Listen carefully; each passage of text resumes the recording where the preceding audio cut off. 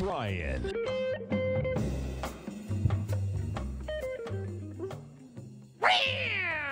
Welcome, folks. This is Tom O'Brien of TFNN. We go five days a week. We go seven hours a day. We go 24 hours a day in the internet at TFNN.com. Always remember, folks, whatever you think about, you bring about. Whatever you focus on grows. Hope everyone's having a great day, safe day. Let's make it a great night, folks. I got to change that promo. Tommy's two years old. Always do your best. Express your own divinity. You don't need the acceptance of others. You don't need knowledge or great philosophical concepts. You have the right to be you and to express your own divinity by being alive, loving yourself, and loving others. Market wise, let's take a look at it out here. We have the Dow Industrials down 243, Nasdaq up 44, S&P's down 21. Gold, gold contract down $3.90, trading at 2,000 flat. You get silver up 3 cents, $25.12 an ounce. Light sweet crude down 280, trading $74.30 a barrel. Notes and bonds. The 10 year note down six ticks, trading 115.19. The 30 year down 18 at 131.26 in King Dollar. King Dollar down 401 ticks, trading 101.462. The euro is out here at 110. The yen is at 133, and the British pound is at 124 to 1 US dollar. Our phone number is 877 927 6648. Give us a call, folks. Want to know what's going on in your world. In the world of the S&Ps, let's take a look at them. What do you have? Well, you get a market that wants lower price. You know, we've really had a sideways market out here today. Not too much action. You had it going back and forth. About, uh, uh, I don't know, about a couple hours ago, the S&P gave it up. Uh, bottom line is that what you have here is that the SPY's at uh, 404. That thing wants to get run down to the lower end of this consolidation that we have right here, is, which is the 380 mark. We go into the NDX 100. This is the cool one now because the reality is, is that if the market was going to go, the bottom line had every chance to go out here today because you had Microsoft come out with numbers. Microsoft up about 20 bucks. Google came out. Google couldn't hold price. Google is a $50 billion buyback and it couldn't hold price. That, folks, says quite a bit. Microsoft, I mean, uh, the, the Qs, the Qs got the 314.93, couldn't hold price. Closing in the bar again. That's saying the, the Qs want to run down to this, uh, God, I need better glasses, 285. And right now you're at 311.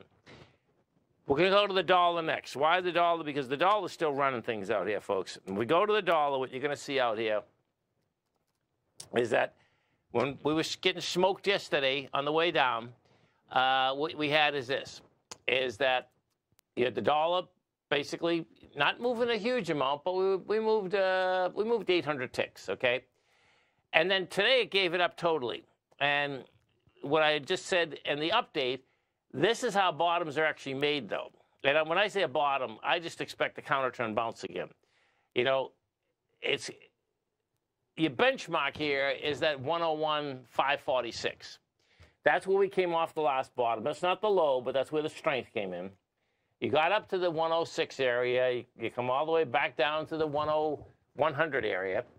And this is just deviant enough that that's telling me this that wants to still go. So we'll see where the whole thing's going to shake out. And, you know, we have two more days in the week. And I expect you're still going to have some good volatility. The bond market 1.5 million contracts out here. That's a lot of contract volume, folks, okay? This bond market looks like it's going to do an ABC structure up, meaning higher price, lower yield. And the volume's not bad out here today either. Yesterday we did 1.7 million contracts. Today we did 1.5. And then if we go to the gold contract, gold's holding up big time. Gold has done 200,000 contracts today, 200, 226. And you don't have much movement. This is when it's subtle, though. The bottom line, gold, that's telling me that, you know, no matter what the dollar wants to do, this looks to me like gold still wants to go, which is pretty wild. We go into the silver contract. We take a look at the silver contract. Inside the silver contract right now, that's holding up too. 52,000 contracts. That's good contract. And then if we go to the bank, FRC, okay, bottom line, this this one here, this I can't wait to hear what the real story is on this.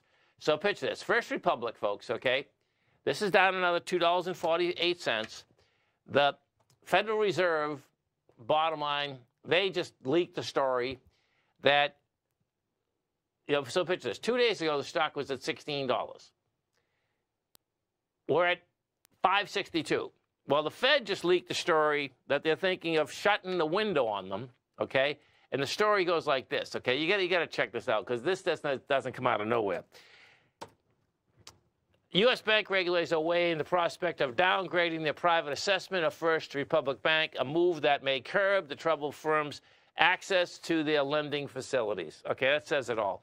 And then, you know, the, the, it goes on saying, okay, they haven't done it yet, and they don't know the person that said this. And guess what? They leaked the story because there's something that's happening in FRC, First Republic, that actually doesn't make any sense at all. We know that they're bankrupt, okay? And they this just keeps getting cut in half day after day after day. The amount of money that's going to be lost, I mean, Tom was talking about this morning. Would you really keep your money in this thing? That like it doesn't even make any sense. Um, so there's something happening here, and, and I suspect what you, what we really have there is is the aspect of that's what's people getting nervous, and that's why you saw that market basically turn around, you know, um, noon. And I think I think the nervousness, folks, actually has to do with incompetence, okay? Because there's either a connection into First Republic, meaning to other banks that the market can get hit. There's something that's there, man. It just doesn't make any sense. Picture it. Signature Bank, they took out in, what, 24 hours, 48 hours? This, is, this has been, what day is this? This is, well, we're talking, we're going on like a couple months. Yeah. You, you, we're going, this starts falling apart February 7th. February? Yeah, February 7th. No, March 7th. March 7th. Stop falling apart March 7th. Okay? That doesn't even make any sense. Okay? That's that's saying that, you know, there's uh, there's something else that's there. But I guess what? If this is in business tomorrow, I suspect it's going to get cut in half again and again and again. Dow, Dow Industrials right now down 218, Nasdaq's up 57, S&P's down 16. Stay right there, folks. We'll come right back.